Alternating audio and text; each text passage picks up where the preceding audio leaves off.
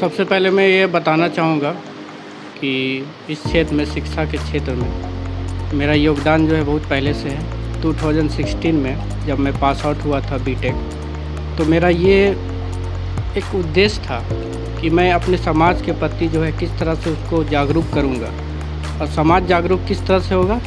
शिक्षा से एजुकेशन से। तो सबसे पहले मैंने एक छोटा सा इंस्टीट्यूट खोला अपने क्षेत्र में। वहाँ 2016 में कोचिंग इंस्टीट्यूट वहाँ से फिर धीरे धीरे मैं प्रोग्रेस किया। उसके बाद आज मैं एस के पब्लिक स्कूल 2019 में इस्टेब्लिश किया हूँ, जो अभी 200 बच्चों के साथ अभी रन करवा रहा हूँ। तो धीरे धीरे बच्चे जुड़ते गए।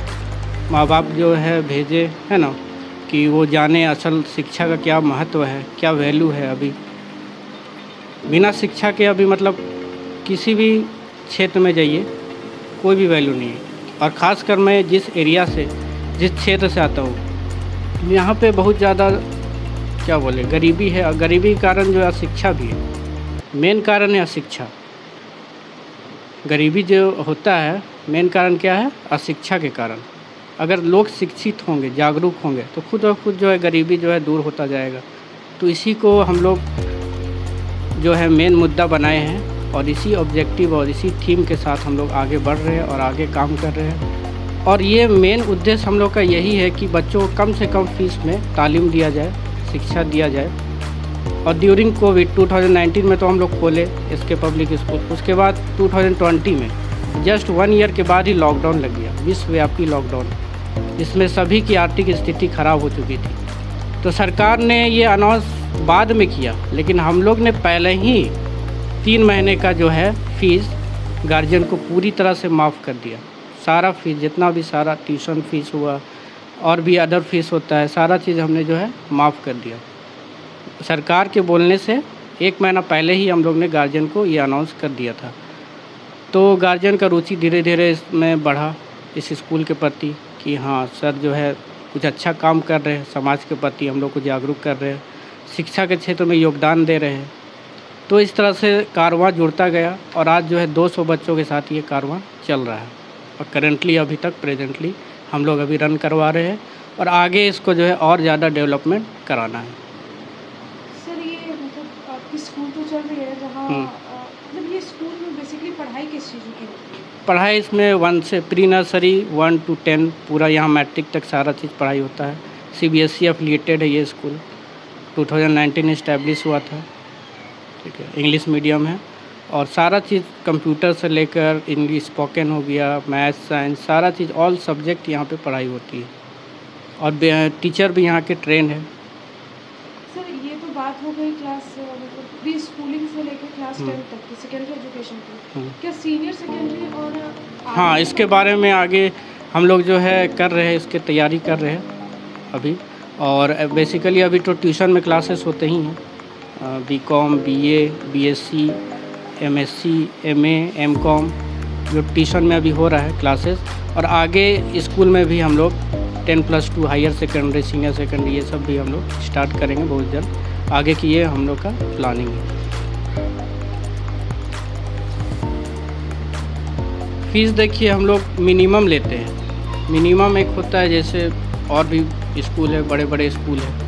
तो वो जो है मिनिमम वो लोग का फ़ीस है टू थाउज़ेंड तो हम लोग जो है उसका भी सेवेंटी फाइव परसेंट कम फ़ीस हम लोग जो है उसमें हम लोग ले रहे हैं। सेवेंटी फाइव परसेंट कम फ़ीस पे हम लोग पढ़ा रहे हैं। और मेन उद्देश्य ये, यही है इस स्कूल का कि कम से कम फ़ीस में बच्चों को जो है एजुकेशन गरीब बच्चों को एजुकेशन मिले। क्योंकि इस, जिस क्षेत्र से मैं आता हूँ, वहाँ पे गरीबी ज़्यादा है middle lower middle class family ज़्यादा बिलोंग करते हैं। तो वो डेली कमाने खाने वाले हैं। तो वो बच्चे को मतलब बड़े स्कूल में ज़्यादा पढ़ा नहीं सकते, फैसिलिटी उन लोग को नहीं मिलेगा। तो हम चाह रहे हैं कि मतलब मेरे ही स्कूल में ज़्यादा से ज़्यादा फैसिलिटी मिले और वो भी वो भी कम फ़ीस में।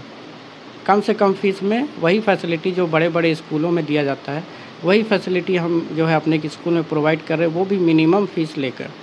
तो इन ड्यूरिंग कोविड जो हम बताए कि तीन महीने का फ़ीस माफ़ किए और आफ्टर 2021 में भी सेकंड जो लहर आया, दूसरी लहर, उसमें भी लॉकडाउन लग गया। एक महीना का उसमें भी फ़ीस हम लोग जो है माफ़ किए।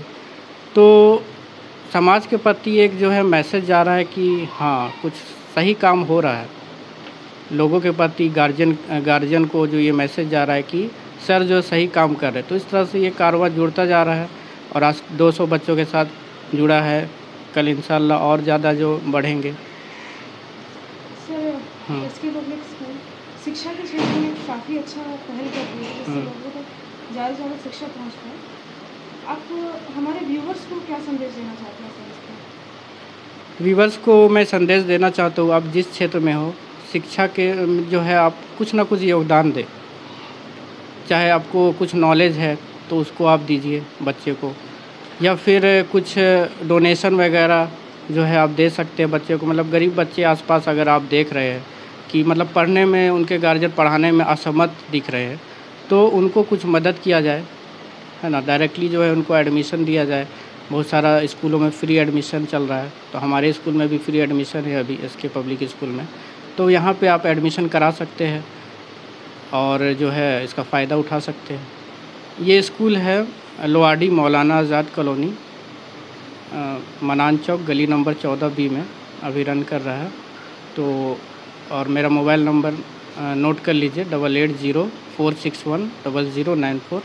इसमें आप मैसेज व्हाट्सएप कर सकते हैं या कॉल भी कर सकते हैं, जिसके ज़्यादा से ज़्यादा जानकारी दी जाएगी इस स्कूल के बारे में।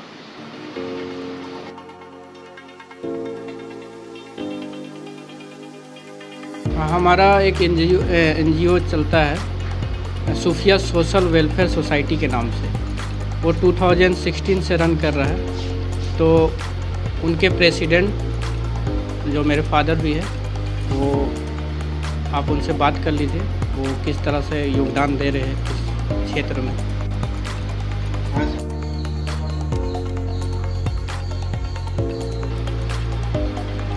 हम लोग सुखिया सोशल वेलफेयर सोसाइटी के नाम से एक एनजीओ चलाते हैं, जिसमें वृद्धा पेंशन का भी प्रावधान है और गरीब बच्चों को शिक्षा के लिए मदद की जाती है।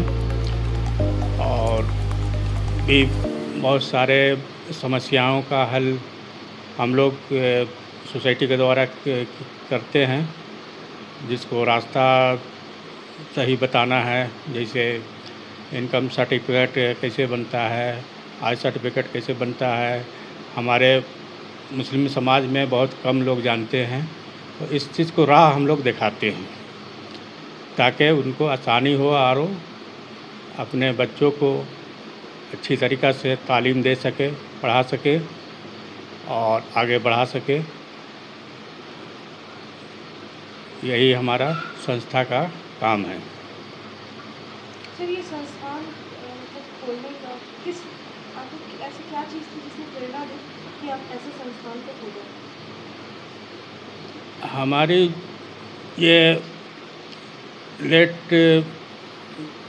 वाइफ के नाम से है सोफिया सोशल वेलफेयर सोसाइटी, उनके नाम से मैं ये संस्था खोला खोला हूँ और मैं, मेरी दिल्ली इच्छा है कि लोगों को भलाई करने का मुझे नियत है और ज़्यादा से ज़्यादा लोगों को भला करूँ और लोगों को सही रास्ता दिखाऊँ, सही रास्ता बताऊँ, यही मेरा उद्देश्य है ताकि लोग ज़्यादा से ज़्यादा लाभ उठा सकें।